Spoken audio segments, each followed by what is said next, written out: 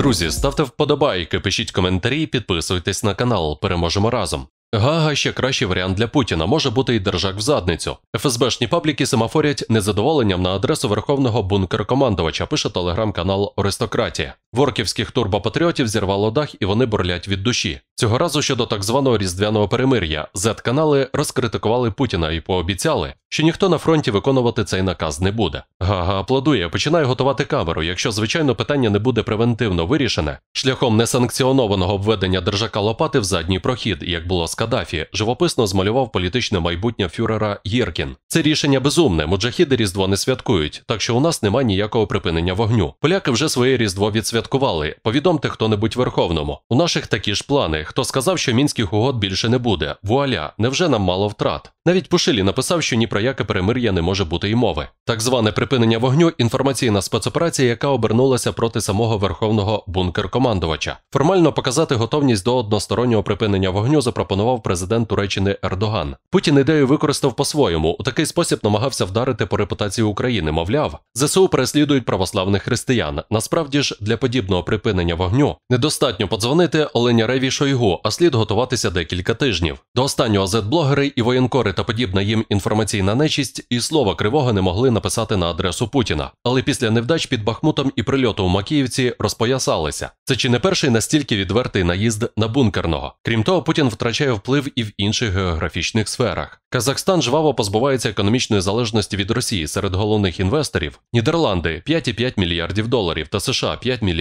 доларів. РФ поступається навіть Швейцарії та Бельгії зі своїми 1,3 мільярда доларів. ЄС не лише головний донор Казахстану, а й торговий партнер, на частку якого припадає 40% обсягів торгівлі. Країна цікава Європі як альтернативний Росії поставник енергоресурсів. Казахстан уже збільшив експорт вугілля вдвічі. Наступного року почне продавати нафту Німеччині. ЄС дає країні гроші на розвиток залізниць, інвестує в місцеву промисловість. Торік товарообіг Казахстану з ЄС зріс на понад 40%. Казахстан приєднався до західних санкцій проти Росії. Країна оцінила збиток від них у 2 мільярди доларів. Але ЄС обіцяє його компенсувати. Торік Казахстан у 8 разів збільшив експорт товарів до Європи в обхід Росії. ЄС залучає державу до свого проєкту Global Gateway. Його частиною має стати транскаспійський коридор в обхід Росії. Це маршрути з Китаю через Казахстан та Каспій в Азербайджан, Грузію, Туреччину і звідти в Європу. Логістика по ньому дорожча, ніж через Росію, але ж санкції діють. Загалом через транскаспійський коридор проходить утричі більше товарів, ніж рік тому. Китай, ще один уявний союзник Росії, так само відмовляється від експорту через РФ на користь каспійського маршруту. Тепер уже виявилося, що у коридору обмежена пропускна здатність залізниці портів.